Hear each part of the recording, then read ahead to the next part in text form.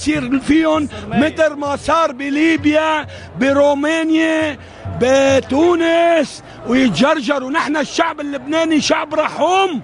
يمكن نرحمهم إذا سلموا أموال الشعب. بس إذا ما سلموا أموال الشعب لاحقينهم على هاي. ألمانيا هولندا آه، بريطانيا. نحن ما داركين حالنا كفى 40 سنة زل؟ نحن مش شعب حمار. نحن شعب مقدس. سرماية الموجودين هون. الصغيرة هيدي.